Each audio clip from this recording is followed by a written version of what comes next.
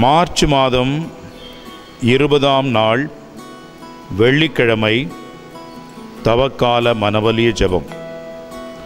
ஆண்டவரே நீர் மகத்துவமுள்ளவர் வியப்புக்குரிய செயல்களை செய்பவர். நீரே என் கடவுள்.